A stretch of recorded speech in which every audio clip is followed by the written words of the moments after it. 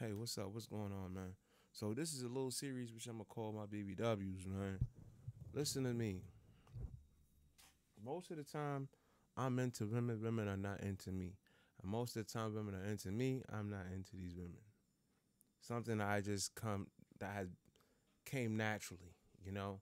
And there's times where I was into a chick and she was into me, but you know, I got my girlfriend at the crib, so I couldn't I couldn't really, you know, make anything of it. So I just had to fall back and now these women obviously hate me. But it it doesn't it doesn't really go to show for anything, man. You got a good woman in your life, make sure you keep her, man. Despite what your friends say, despite what people think, if she could find a way, she know a way, she could give you a way or a place you know, make make make it home, bro. I'm telling y'all niggas right now, make that shit home. I mean, um, don't don't always go with what your friends say or anyone says. Your parents sometimes. I mean, your parents might see some shit which you can't, so you have to recognize that and do, you know, take some kind of caution. You know I mean, place it in your life. Understand? You know, they're saying it because they have a little wisdom to them. But you gotta follow your heart at the end of the day. Either you follow your heart or you follow your brain. And if your brain tells you, yo, your heart is fucking up, then your heart is fucking up, you know?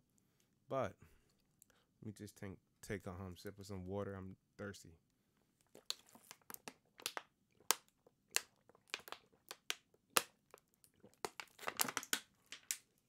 Ah, oh, boy.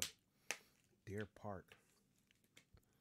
But yeah, like, I mean, it's like, bro, I miss my big girl because, um, like you know, it's October and usually like, I, well, October passed, but in October, you know, I would usually like go over to her spot in the morning and just chill, and then, you know, it's just like just just missing, you know, the the feminine stuff she used to do for me. Um, you know, like the woman would really like, you know, just I don't know, but she had this crazy monotonous thing about just looking at me and just watching me while I sleep. And then, you know, sometimes I'm not going front. Like, nigga used to have to like, grab all our stomach up and just, yeah, because that shit is me. You know what I mean? Like, at that time, that's how it felt. But, bro, I'm like, yo, I miss my big girls, man. I miss big girls. Um, just not just for the sex, just for the intimacy, too. Because, the, bro, believe it or not, the bitch went to college, bro. She went to college, so she's smart. And I was, I'm like, damn. Like, you book smart, but street smart. She wasn't really street smart, you know, because I still I still had ran some game on her, so she wasn't that smart. But it's just crazy because, like, I just I just came about missing this person, you know. But I know I'm gonna see her soon. You know, God granted, you know, she should come back, and you know I mean. We'll we'll see what happens from there, but.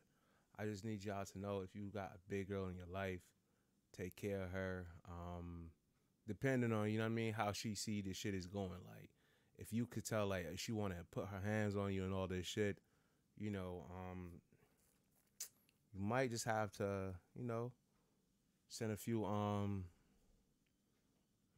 send a few few few shots out there for him. You know what I mean, let him know, yo, look, this my woman. You know, you chill with all that. I'm I'm handling business right now. You I'll deal with you in a minute. You know what I mean? But these big girls, man, they know what they got, man. But anyway, I'll highlight y'all later. Stay safe, stay blessed, and take care of your big girl. You know what I mean? Don't be like me, man. Don't be like me. I lost my big girl, man.